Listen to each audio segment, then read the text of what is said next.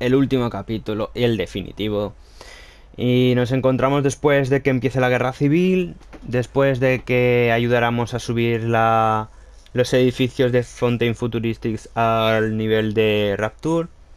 Eso les permitió empezar la guerra civil y dos semanas después, mientras nos torturaban, eh, reventaron el Kashmir, que es donde empieza la guerra civil como tal, en los libros y en Bioshock 1, eh, o por lo menos el atentado más gordo, donde empieza todo, en 1959, nuevo año del año 1959, si no me equivoco. Sí, 1959, que es el nivel en el que estamos en... o un restaurante parecido, ¿vale? Porque tengo ahí una foto.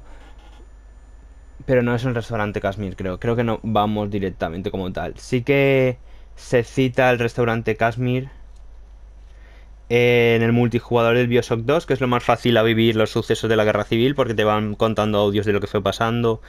Y los modos de juego son lo más parecido a estar en una guerra civil. Y en el libro de Bioshock Rapture sí que estás en el restaurante Kashmir y en el suceso y te lo explican de cerca. A ver, a ver, a ver, un momentito. El restaurante Kashmir es uno de los primeros lugares que atravesamos en Rapture. Aquí encontramos varios splicers. Vale, sí que, sí que pasamos por el restaurante de Kashmir. Vale, es ese, sí, es ese. Es el primer nivel de Bioshock cuando llegas a un restaurante que pone Happy New Year 1959, pues era ahí, vale, sí. Lo que pasa que hay en el primer punto de la sala de recepción y los baños en donde se puede acceder al teatro Footlight, que es el teatro donde encontramos a la primera Little Sister con el primer Big Daddy. Sí, la guerra civil empezó con ese suceso, cuando volvió y los acribillaron, pero creo que también hubo una bomba. Y bueno, vamos a seguir, ¿vale? Para explicaros que, bueno, eso, nosotros fuimos la que ayudamos según esta reescritura de Levine, Rapture Radio, a que empezara la guerra civil porque estaban atrapados ahí, eh, ahí abajo en esa prisión o asilo político. Estamos en Artemis Suites, que es un nivel uno de los niveles a los que llegamos al final del juego. Y bueno, no diré mucho más, pero tenemos que conseguir el as en la manga. Y estamos en la clínica gratuita del Dr. Suchong. A ver qué nos cuentan. Suchong, ¿en qué diablos estabas pensando? ¿Plásmidos bebibles? En comparación con los inyectables, tienen 10 veces más cantidad de Adam disuelto. Y por si no te habías dado cuenta, las babosas marinas no es que crezcan en los árboles, Volvamos a los inyectables y dejemos que los genios de la mercadotecnia se devanen los sesos para ver cómo se lo venden a esos idiotas. Exacto. Eh, esto, por ejemplo, es nuevo, es una reescritura futura de Ken Levine, pero bueno, como lo ha hecho Ken Levine, pues más o menos cuadra. Aquí te explican que el taladro se podía lanzar, no me acuerdo si en el Bioshock 1 te lo lanzaban, pues lo he visto en la primera parte creo que era, o en una parte de Rapture cuando estaba la gente bien, creo que en la DLC esta, pero en la primera, en el primer episodio, se ve a un Big Daddy lanzando el taladro para alcanzar una zona más alta. Lo cual, pues bien.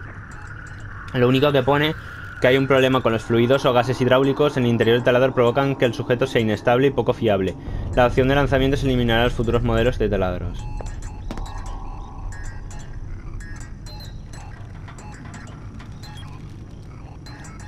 Y aquí Vemos a modelos de Big Daddy, ¿no? De la ropa. Que me encanta con el taladro caído y con la mierda esa. Aquí un Big Daddy en la mierda. Que me encanta el modelo del Big Daddy y todo lo que representa. Y a medida que vayamos viendo esto que os estoy enseñando y que nos lo expliquen todo, vais a flipar. Aquí vemos un taladro lleno de, de aceite. Aquí vemos cómo intentaba hacer la unión genética de una niña con un Big Daddy con el pelo que le conseguimos, ¿vale? Que básicamente es nuestro pelo, pero de otra dimensión, de Columbia. Y utilizando la técnica esta de la astilla en la pata del león. O sea que si una pequeña cura a, a su protector, se crea un vínculo afectivo entre ellos dos y el padre o la criatura defiende a la niña. Aquí tenemos una Vita Chamber que explica un poco su funcionamiento Supuestamente lo habían creado con... Tiene plásmidos dentro que lo que hacen es reconstruir genéticamente al que muere. Y así es como resucitas, entre comillas. y da sentido a la resurrección en el videojuego, lo cual me gustó mucho el 1 y que no me gusta tanto el Infinite porque simplemente apareces y ya está. I have fast tracked this project for immediate... O sea, quieren hacerlo en más allá. Pero luego pone una nota abajo y dice, todas las cámaras deberán ser tuneadas to Andrew Ryan's specific genetic frequency before proceeding with it". Entonces no tiene sentido, es para que se regenere solo Andrew Ryan y la gente que tenga su sangre. Que eso explica por qué Jack puede resucitar y los demás no. Además de que las, las llegado a un punto, creo que las vitacámaras, las las batisferas tampoco se pueden usar por cualquiera, ¿vale? Que esto lo cambió luego cuando ya se rayó muchísimo Andrew Ryan y empezó a nacionalizar todo tipo de empresas. Y aquí vemos dos niñas. Una se llama Masa, que es la que dice que qué miedo. Vale, pues aquí hay una curiosidad que solo sabréis si os acordáis del Bioshock 1 o habéis leído el libro Bioshock Rapture. Masa, vale, esto es un detalle que digo que si te lees el libro lo entiendes mejor. Masa es una niña que secuestraron los hombres de Ryan y que hay un audio en el bar de McDonald's que vas en el tercer nivel, en Bounties, la recompensa de Neptuno, el tercer nivel, el del puerto. Y hay un bar que es de McDonald's, que es el protagonista del libro y el que arreglaba las. Bueno, el que ayudó a construir toda la ciudad porque era fontanero, ingeniero fontanero, y ayudó a hacer todas las, las tuberías y todo. Y impidió que se inundara todo. ¿Qué pasa? Que mm, en lo que es el primer juego no habla mucho de él, hay muy pocos audios de él y parece un secundario más. Luego en el libro es el protagonista y cuadra muy bien con la historia, ¿vale? De que, de que se encargó de que todo se construyera bien y que no perdiera agua en la medida de las posibilidades. Pero si hay goteras es porque no todo estaba hecho con los mismos materiales y había partes que pues poco a poco se fue filtrando el agua y hay muchísimas goteras porque no todo tiene los mismos materiales. Hay materiales que están hechos de un mineral que se inventó Levine, que es Ryanita o algo así, del apellido de Ryan, y que es súper eh, resistente, pero hay otros que es acero normal, que se dobla y entra el agua. Bueno, que me enrollo.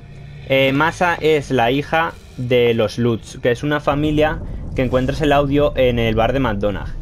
Pues en el libro explican que los Lutz son amigos de McDonald's y su esposa.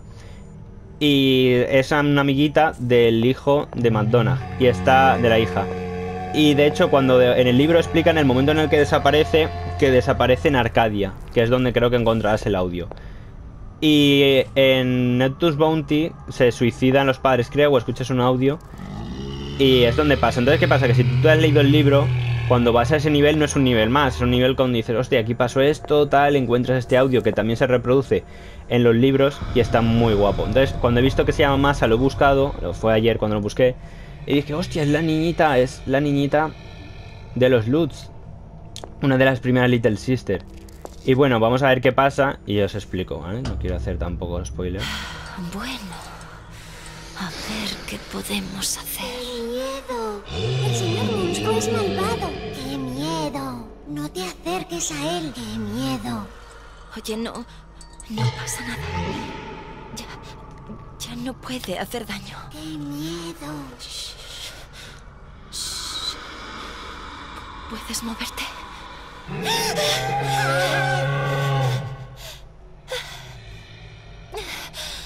¿Puedes intentar moverte un poquito? No. No sé cómo ayudarte. Yo. No lo sé. No, solo. Solo está herido. Solo necesita que alguien averigüe cómo arreglarlo. Quizá haya algo. No sé. ¿Hay algún manual de instrucciones de él o algo por el estilo? Ah, Vaya. Mira a quién le pregunto. Pobres niñitas, están traumatizadas por todos los experimentos que han hecho con ellas. Así que tenemos que encontrar una manera de reparar al Big Daddy.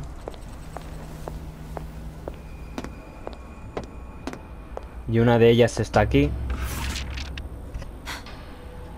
Codificado. Big Daddy no se apega. En ese caso, ¿de qué le sirve a Little Sister? Él no le gusta a ella. Ella no le gusta a él. Estamos en punto muerto. Inadmisible. Aquí, como ya nos explicaban en Bioshock 1 y en el libro, no se conseguía el enlace genético entre la niña y el protector.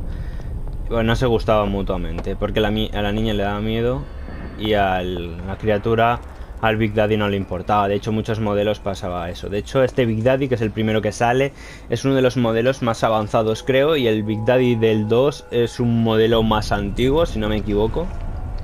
Curiosamente. Y aquí tenemos el enlace genético, vale, el pelo, ¿qué más?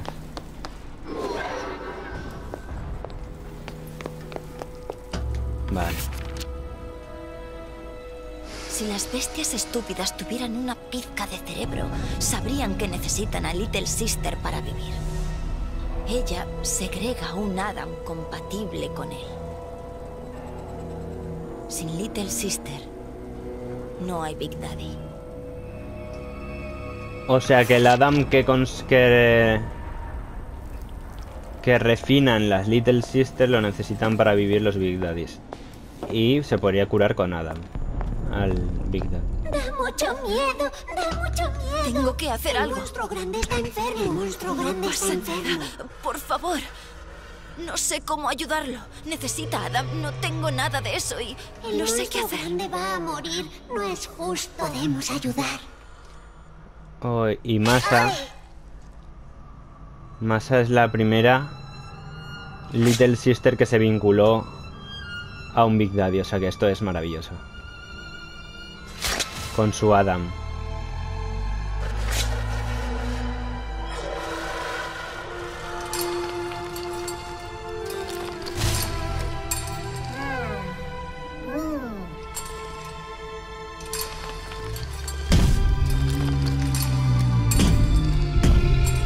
Qué bonito. El león con una Con una espina espina en la pata. Y así se vincula. Genéticamente una Little Sister o una niña a un Big Daddy. Y de hecho es lo mismo que hicimos nosotros con el pájaro en los laboratorios de Comstock, que lo vimos ahí, digo, de Fink, en Colombia. Y, es la misma técnica. O sea, hemos hecho lo mismo, lo de variables y constantes, dos dimensiones distintas, misma constante, diferente variable. Interesante.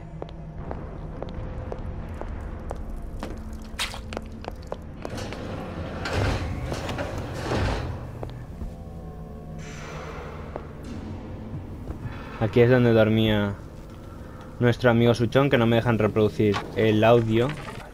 ¿Es tu cachorrita? Es muy bonita. Gracias, papá Suchón. Rómpele el cuello por mí. ¿Qué? Rómpele el cuello a esa dulce cachorrita. No, por favor. Rómpele el cuello a esa cachorrita, ¿quieres? No, no. Muy bien. Y ya está. Este es el- un audio que está en Bioshock 1 también, que es el audio en el cual eh, probaba el control mental del personaje Jack de pequeño mediante la palabra Will You Kindly o Quieres en español. Y ahí era la primera vez que funcionaba matando a la cachorrita aunque él no quisiera. Porque era controlado mentalmente. Suchón, si hay algo de lo que esté segura, es que está en tu poder el ser un hombre mejor. ¿Qué nos puede arrebatar Ryan que ya no hayamos sacrificado en aras del descubrimiento? Las Little Sisters son niñas, y sí, lo olvidarán. Pero tú y yo no. Los recuerdos de lo que hemos hecho solo se desvanecerán cuando se apague la última luz. Tenenbaum.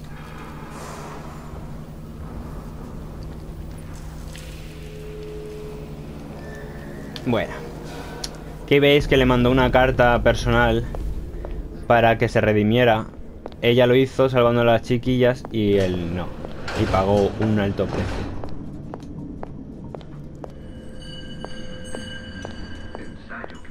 Sistema protector. Lote de plásmidos 255. Doctor Suchon. Cliente Ryan Industries. Un día muy frustrante. Parece que no conseguir que Big Daddy se unan a mocosas. Vínculo de protección no formarse. Papá. ¡Ah! ¡Fuera! Quizás si modifico la secuencia genética de... ¡Che! La secuencia para... Suchón, papá Suchón, papá ¡Largo, mierdecilla inmunda! O sea, atacó a Leta después de hacerse el vínculo ¿Qué genético. estás haciendo? ¡Atrás!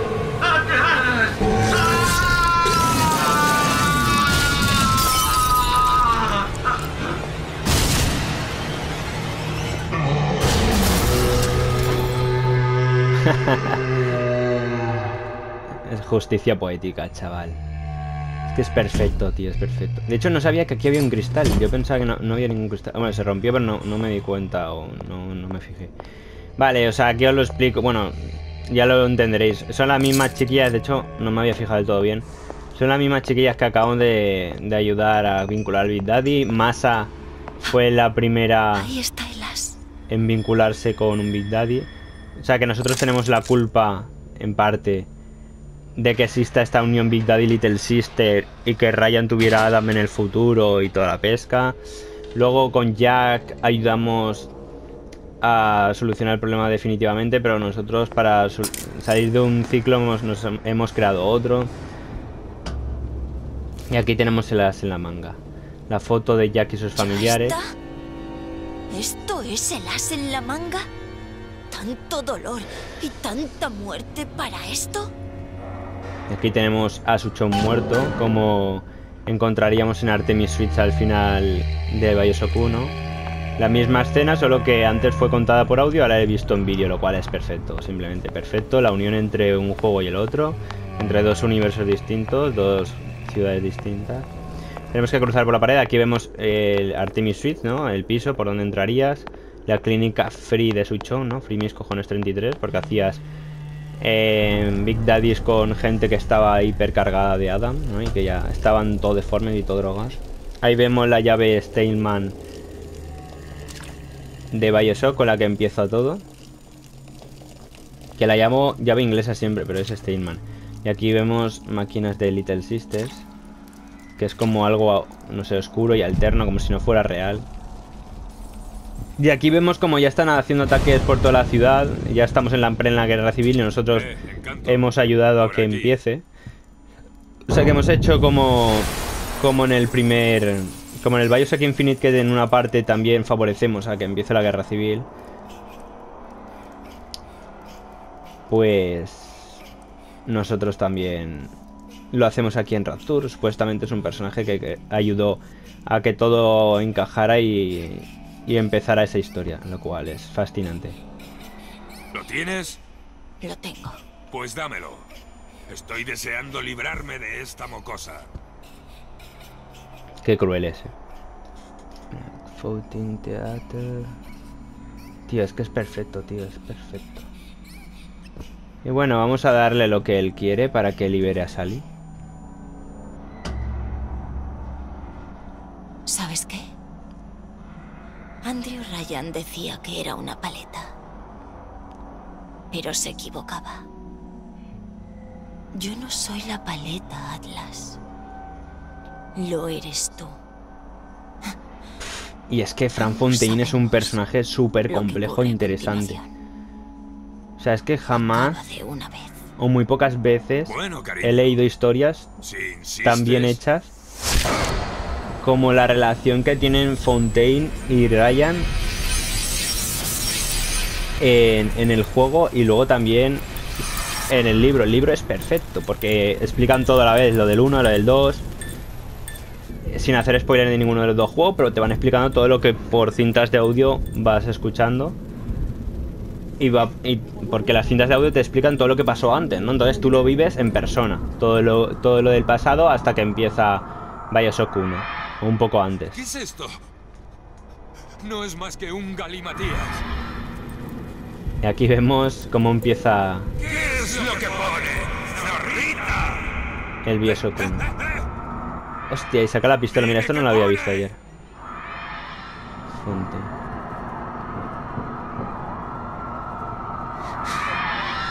Dice. Will you kindly? ¿Quieres?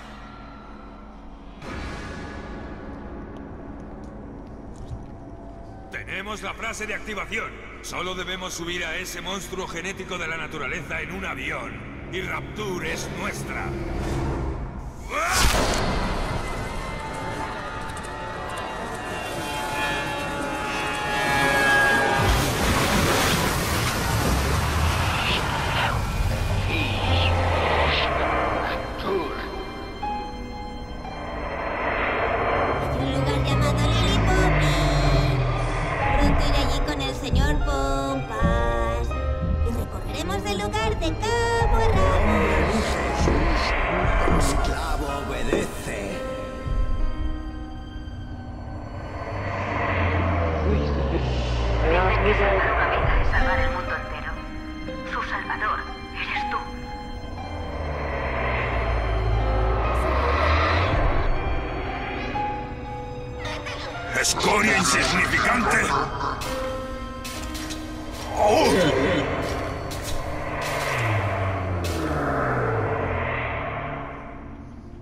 Puedo ver todas las puertas y lo que hay tras todas ellas. Y detrás de una de ellas, increíblemente, lo veo.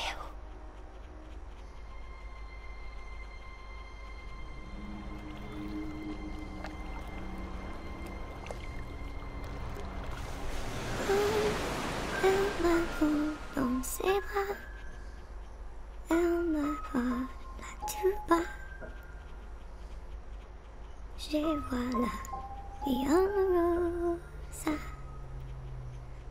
You are the day, what amor, the moda to leisure. Et ça me fait quelque chose, ça.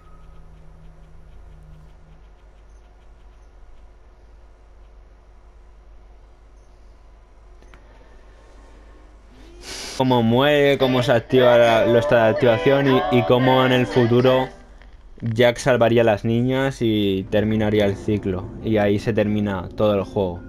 Por eso Infinite la verdad que para mí ha revolucionado el medio, la narrativa, me ha encantado cómo han unido los dos universos y cómo acabando un juego y con sus DLCs acabas el otro juego y explica por qué no va a haber un Bioshock 3 como tal y tal y perfecto, es que es perfecto.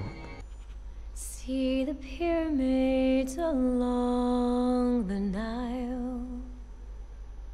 Watch the sunrise from a tropic isle.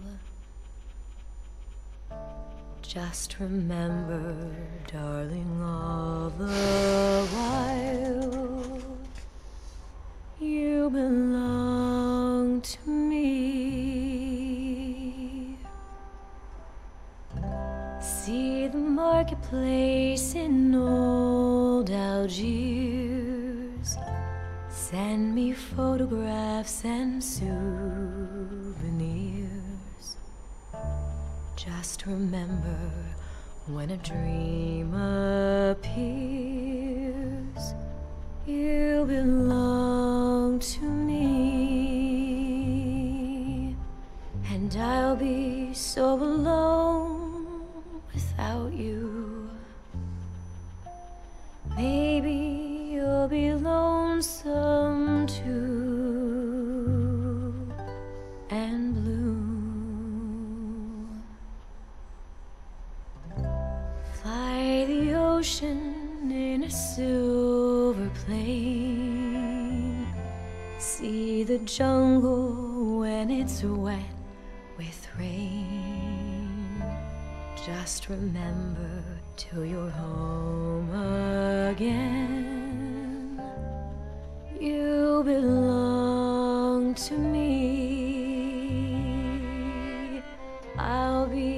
so alone without you.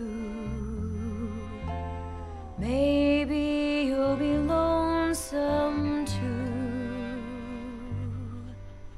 And blue. Fly the ocean in a silver plane. See the jungle when it's wet rain. Just remember to you're home again. You belong to me.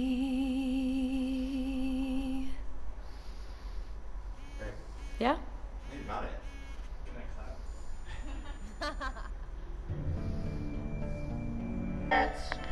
Y creo que ya habéis escuchado la canción, ¿no?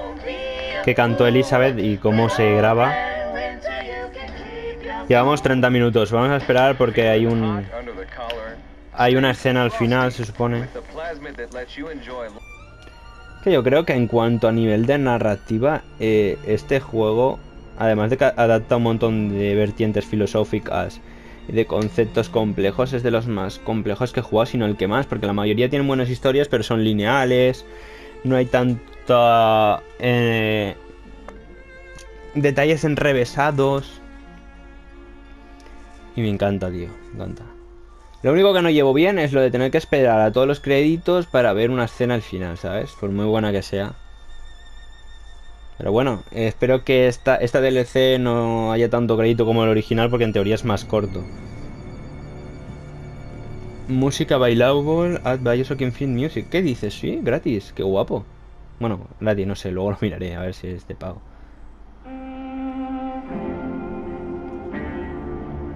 Oh, Rapture.